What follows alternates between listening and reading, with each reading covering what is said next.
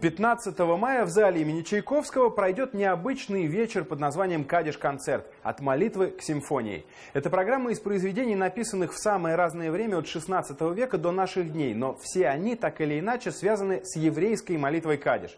Вечер посвящен 70-летию со дня освобождения Одессы от фашистской оккупации и узникам Одесского гетто. На концерте пройдет презентация книги одного из них. Вечер начнется не с музыки, а с показа фрагментов документального фильма. Он снят по книге «Пути смерти» Иосифа Александровича. Это человек, который от начала до конца прошел все ужасы гетто.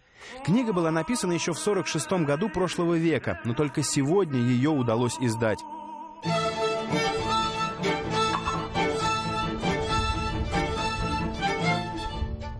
Первом отделении концерта прозвучит музыка, созданная до Второй мировой войны. Во втором — сочинение современных композиторов. Одно из них — произведение «Как старый шарманщик» Леонида Десятникова. Он написал его в 97 году специально для скрипача Гидона Кремера, а номинант премии Грэмми альтист Максим Рысанов сделал переложение для своего инструмента. Я долго пытался уговорить Леони написать что-нибудь для меня, но он считает, что как только он напишет что-то для альта, то это вот сразу что-то, какое-то несчастье случится, потому что многие композиторы писали свои последние произведения именно для альта. Надеюсь, что Леня, если услышит это интервью, не очень обидится на меня.